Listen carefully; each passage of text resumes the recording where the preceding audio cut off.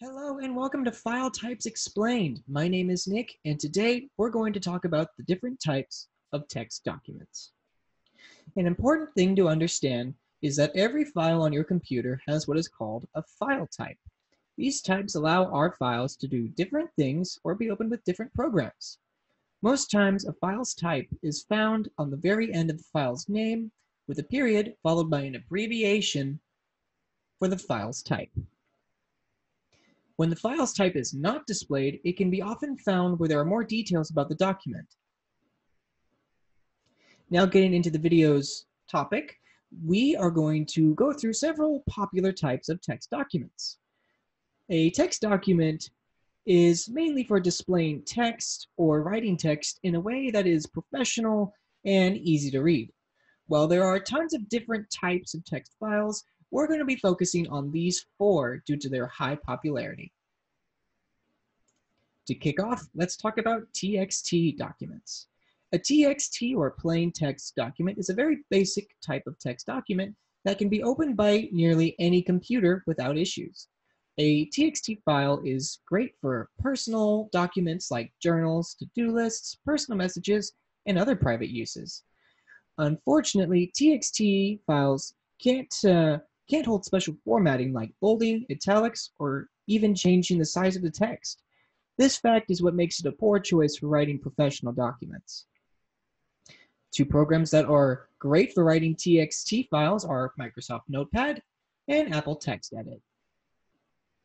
Next on our list are RTF files. Also known as Rich Text Format, RTFs are an older format originally created by Microsoft.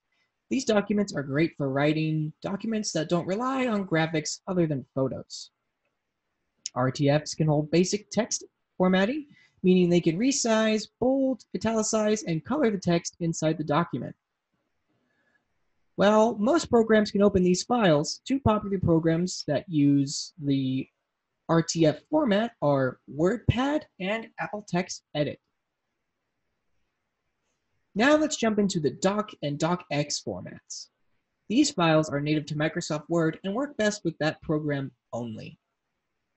Docs are great for writing any sort of document between colorful resumes, quarterly reports, or even personal letters. A doc can house all sorts of different types of formatting, things like basic text formatting, tables, charts, and other graphics that are supported by Word all work great inside of doc or docx files. However, opening and editing these files can only be done with Microsoft Word. That makes these files less desirable when someone is planning on sharing the file digitally with someone. Last on our list, we're going to talk about PDF files. The PDF, also called Portable Document Format, was originally created by Adobe in the 1990s. Now, it has become a universal standard when it comes to sharing documents online due to its easy to open nature. A special thing to note about PDF files is that it's the best to save your files in this format when you are completely finished writing the document. Directly editing PDFs is undesirable due to the fact that special software is sometimes needed to perform the act. However, if you find that you absolutely must directly edit a PDF file, the best program for the job is going to be Adobe Acrobat. The list of programs that support PDF files is massive, so my personal recommendations for using PDFs is as follows. For writing, Google Docs and Microsoft Word both have options where you can export your document as a PDF.